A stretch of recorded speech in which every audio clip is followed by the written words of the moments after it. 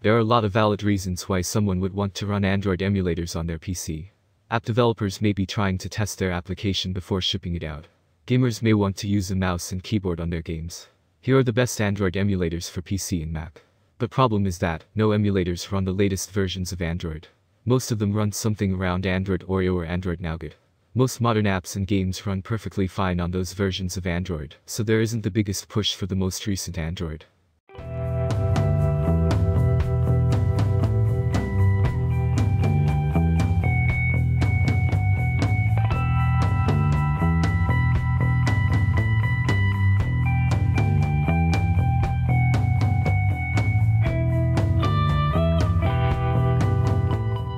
LD Player.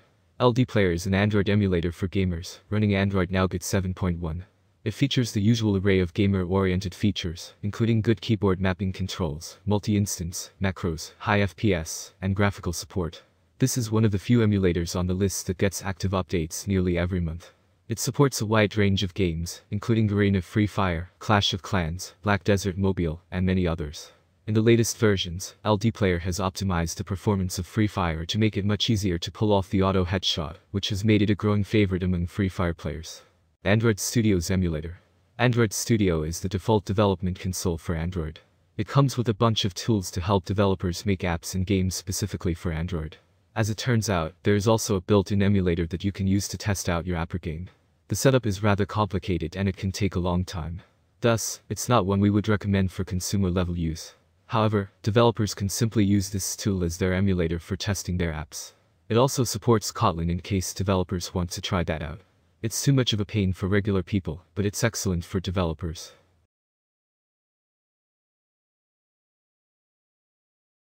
Archon. Archon isn't a traditional emulator. You install it as a Google Chrome extension. It then gives Chrome the ability to run Android apps and games, albeit with limited support. It's not an easy emulator to get running. You'll have to install the thing to Chrome. From there, you have to obtain APKs and load them in. As an added rub, you may need to use a tool to change the APK in order to make it compatible.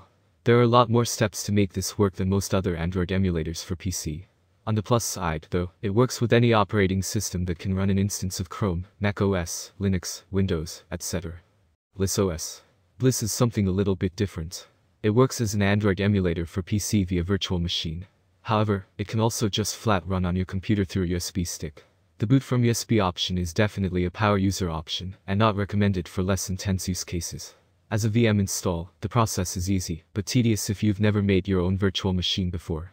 The USB installation method is even more complicated, but it lets your computer actually run Android natively from boot. That makes Bliss a super unique emulator if you can make it through the steps to the end. The system runs Android Oreo, and that's among the newer versions of Android offered on an emulator.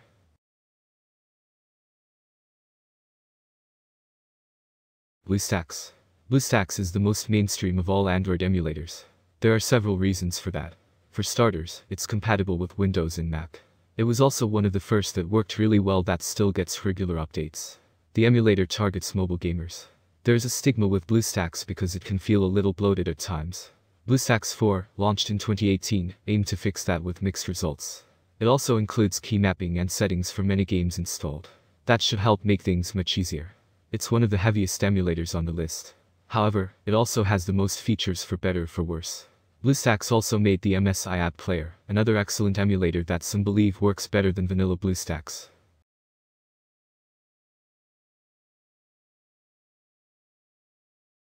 GameLoop. GameLoop, formerly known as Tencent Gaming Buddy, is an Android emulator for gamers. In fact, it's good enough that Tencent calls it the official emulator for its games, including Call of Duty. Mobile and PUBG Mobile. Of course, it features other games aside from Tencent's, although its collection isn't as big as it could be. The emulator downloaded and installed fine, and the games we tested ran just fine. This one is not good for productivity or developmental testing. However, if you have an itch for mobile FPS gaming along with some titles, this is actually a fairly decent gaming emulator, and it boasts a good collection of newer titles. Plus, the keyboard controls and performance is good. Genymotion. Genymotion, this Android emulator is mostly for developers. It lets you test your apps on a variety of devices without owning them. You can configure the emulator for a variety of devices with various versions of Android to help suit your needs. For instance, you can run a Nexus 1 with Android 4.2 or a Nexus 6 with Android 6.0. You can easily switch between virtual devices at will. It's not great for consumer uses, but Genymotion does offer their services for free for personal use. Its most useful feature is its availability on both your desktop computer and the cloud. Those without powerful computers can make Genymotion's servers do all the work for them. Memu.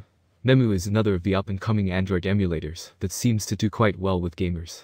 One of its biggest features is support for both AMD and Intel chipsets. Most work on AMD processors, but it's nice to see developers specifically pay attention to AMD's platform. Additionally, it supports Android Jelly Bean, KitKat, and Lollipop. You can even run multiple instances at once for multiple games or testing features. It aims itself at gamers much like BlueStacks and similar emulators. However, it's also quite usable as a productivity tool as well. Its most recent update was in mid-November 2019, and that update added smart key mapping, along with the usual performance improvements and bug fixes. Nox. Nox is another Android emulator for PC for gamers. That includes the usual stuff like key mapping with your keyboard, actual controller support, and even the ability to key map gesture controls. For instance, you can assign the function to swipe right to an arrow key, and use that in a game without actual hardware controller support. It's a lot of fun and seems to work rather well most of the time. It's also entirely free and in active development.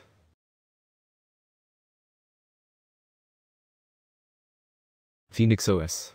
Phoenix OS is one of the newer Android emulators for PC. Like most these days, it boasts a gamer experience.